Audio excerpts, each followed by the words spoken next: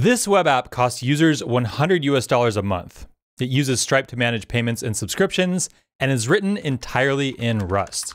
Let's walk through how to build it step by step. I will also show you how to get a ton of monthly recurring revenue in a test environment without real money. When you first load the page, you see the subscribe button with a rock underneath it, and this is the free version of the product. You get a rock emoji. But say you get sick of the rock emoji and you want something a little more glamorous, just click the subscribe button and you are taken to the Stripe checkout flow. You are given the price. All you have to do is enter your credit card number. Uh, I'm to enter my credit card number. Please don't steal it. I can trust you guys, right? Click subscribe, and we are taken back to the page, and we can see the rock has turned into a gem, which is the paid version of the product. All right, let's look at how to build this from the ground up. By the way, you might be surprised to know that this was built without the help of a UX designer. We'll create our project using the Leptos full stack starter template. We'll do cargo leptos new dash dash git and then the address of the git repo. Then we'll add the async Stripe crate, which is what we'll use to interact with Stripe. We have to add it as optional with the Runtime Tokio Hyper feature. We can serve the starter app locally using Cargo Leptos Watch, which also gives us hot reloading. Because we don't want to ship the async Stripe crate to the front end, we'll add it to the list of dependencies enabled by the SSR feature. That way, it'll only be included if the SSR feature is enabled, which will only be the case on the back end. In our app.rs file, we'll create three functions that will run on our backend. The first is getProduct, which will return a result with a tuple in it. The first element of the tuple will be a boolean indicating whether the user is a paid subscriber, and the second element will be the product the user is entitled to. In our case, that's an emoji. These functions are going to be annotated with the server macro, which tells Leptos that they are to be run on the backend. But the really cool thing is that they'll be directly callable from the front end code too. Before we finish writing the function body, we'll just return OK and false and a rock just to appease the LSP. Before we go any further, let's talk about the Stripe data model as it pertains to what we're building. In Stripe, there are products and customers. A product has one or more prices. A price includes a cost and a billing interval. For example, it could be a one-time purchase, or it could be a monthly recurring cost. When a customer subscribes to a product, there is a subscription object created which links the customer to a price. I'm skimming over some details here, but that's the high level overview. You can actually create products and customers programmatically with Stripe's APIs, and in most cases, you will probably be creating customers programmatically, but you can also create customers and products manually using Stripe's web interface, and in real world situations, you'll probably be creating products manually. When we create a product, we can also specify a price and payment interval. In our case, that's going to be 100 US dollars on a monthly cadence. For this project, we're just going to manually create a product and customer in the Stripe UI. We'll copy the customer ID and hard code it into our web app. I'm just going to copy and paste in the long use statement for all the Stripe identifiers that we're going to use. Note the CFG macro with feature equals SSR. That makes it so the following line will only be included if the SSR feature is enabled. We'll set up a globally accessible Stripe client that can be used in any of our server functions. We'll use the Rust standard library's lazy lock to do just that. A quick way to see if a customer is subscribed to a product is to call the Stripe subscriptions API to list all the subscriptions associated with that customer. There's a list subscriptions struct with the fields necessary for that API. We'll fill in the customer field with that hard-coded customer ID. In the real world, you'd probably have the user's Stripe customer ID stored in your database. Then we'll assume if they have any subscriptions that they're entitled to have a diamond emoji. Otherwise, they get a rock emoji. And that is our get product server function. There are a number of refinements that can be made here.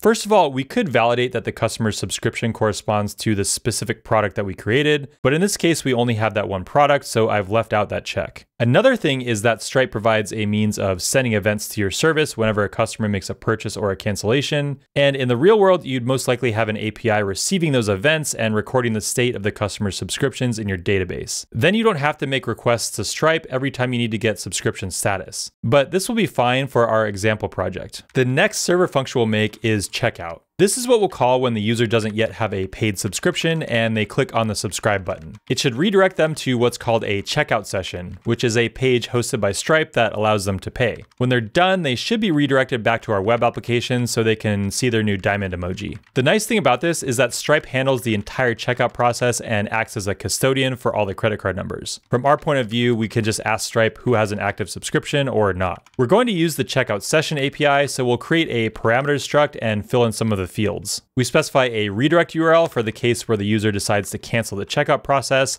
and also for the case where they successfully complete checkout. In both cases, for now, that's just going to be localhost. We specify the customer ID of our one customer, subscription for checkout session mode, and a vector of checkout session line items. It's a vector because the customer can potentially be buying multiple things at once, but in our case, there's just one item in the vector. Remember the product we created in the Stripe web UI? There's an ID associated with the price that will create a const string slice for, just like we did for the customer ID. And then in the checkout session line item, we refer to that price ID. We'll call the checkout session API, which will actually respond with the URL that we should redirect the user to. Leptos actually allows server functions to redirect the user's browser to another URL. And to do that, we use the Leptos Axum redirect function. So we can just pass in the URL that we got from the checkout session that we created. In the success case, we return a unit type because we've already configured a redirect to be in the response. And of course, if for whatever reason creating the checkout session failed, we just return an error. That is the checkout server function. Again, that's what the front end is going to invoke when the user clicks the subscribe button. There is one more server function we need to implement, which is unsubscribe. At this point, we're going to move to the front end side of things. In the same app.rs file, we have this homepage function annotated with a component macro. The component function will eventually return a view, which uses an HTML-like syntax to describe the contents of the page. There's a Leptos construct called action that can be used to represent represent an action taken by the user. We'll create a subscribe action, which will wrap a closure that invokes the checkout server function. Later, we'll have another action for unsubscribing. And since we're on the topic of subscriptions, this subscription button is completely free. There's another Leptos construct called resource that can be used to retrieve data that will be surfaced to the user on the page. It takes two closures, and without going into too much detail, the first one describes conditions that should cause the resource to be reloaded. The second defines how to retrieve the data. In our case, we just call our getProduct server function. Remember the return value of getProduct is a tuple where the first element is a boolean indicating subscription status, and the second is a string containing the product the user is entitled to. So we'll make a closure for extracting the product string that we can then interpolate into the view macro. Calling product.get in the closure ensures that the closure will be run whenever the value of the product resource changes. The value inside the resource is an option, which wraps the return value of our server function, which is a result so we'll create match arms accordingly. We can destructure the tuple to extract the product string like this. Now that we have the closure assigned to product display, we can interpolate it into the view macro. In the view macro, we'll create a button element and assign it an event handler for onClick. The handler will call .dispatch on our subscribe action, which will result in an HTTP call being made to our subscribe server function. And then there's product display. We'll put it inside a suspense component, which Leptos gives us to hide content until the resources inside are loaded. So at this point, everything should be working except unsubscribe. Okay, the page loads, but it's way too bright for me. Really quick, we'll just add some basic Tailwind CSS classes to make things look a little better. I won't go into too much detail on how to do this. Refer to the Leptos manual if you want the lowdown. When we load the page, we see the rock, which is what we expect. We can click on the subscribe button and we get redirected to the Stripe checkout flow. Our products and customers are in Stripe test mode, so we can use test credit card numbers to go through the flow. One of the test credit card numbers is 42 repeating over and over. We set an expiration date anytime in the future and use any three digit number for the security code. Enter a name, click pay, and we get redirected back to our app. There we go, we're back in our app, and we can see the diamond that only paid subscribers get. Okay, we're almost done. Let's go implement the unsubscribe server function. It's going to look a lot like the other two. First, we actually need to get the subscriptions associated with the user because we need the ID of their subscription to cancel it. We create a parameters struct, fill in the customer ID field, and then make a request to the subscription API. We get the first element of the list of subscriptions that comes back. If one exists, we extract the ID field. If there wasn't at least one subscription, the user shouldn't have even been able to invoke the server function, so something is wrong and we return an error. Then we create the cancel subscription parameter struct. I'll spare you the details of the fields, check out the Stripe documentation for more info. Then we call the subscription cancel API, passing in the subscription ID that we found. Unsubscribe won't actually return anything, just an OK with the unit type if everything went as planned. Okay, that's it for server functions. Let's circle back to the front end component.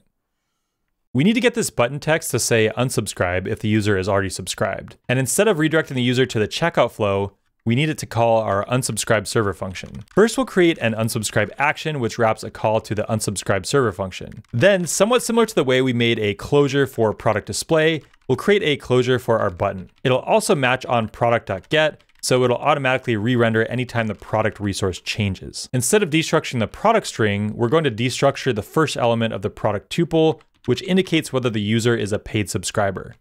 If it's false, we return a view containing the same exact button that we had before. If it's true, we return a button with the text unsubscribe, which invokes our unsubscribe action. If it's something unexpected, we just return an empty view. Notice the type errors here. The type generated by the view macro is different depending on what it contains, which makes match statements like this interesting because the Rust compiler expects all match arms to yield the same type. Luckily, we can just call into any on each of the views to get them to all be the same type, which appeases the type checker. Then in the view macro, we'll delete our previous button and interpolate the new button into another suspense element, since we don't want to show it until the product resource is loaded, kind of like product display. Okay, now we can test unsubscribe. Remember we subscribed prior to implementing unsubscribe so we can see the gem. Our button now says unsubscribe and we can click it. There is a bit of delay between calling unsubscribe and the point where Stripe API requests reflect that cancellation, so I didn't have the page refresh automatically. But now that it's been a few seconds, we can refresh the page and there we go, back to the free version. And there you go, that is how to build a full stack Rust web application with Stripe integration. If you're not an expert in Rust, there might have been some pieces of syntax you saw in this video that you didn't fully understand. If that's the case, you might be interested in Ultimate Rust Crash Course, which is available on Skillshare, the sponsor of this video. Skillshare has thousands of courses across a wide variety of topics like productivity. I'm a fan of Ali Abdaal, by the way, art, photography, and UX design. UX design is what I'm personally going to be working on because it's become pretty clear to me that I have room for improvement there. Skillshare is the largest online learning community for creatives with thousands of classes led by industry experts across many different topics. It can help you take your career, skills, hobbies, passions, or side hustles to the next level. The first 500 people to use my link in the description will receive a one month free trial of Skillshare. Get started today. If you like this video, definitely check out this other video that YouTube thinks you'll like. Thanks for watching, and we'll see you in the next one.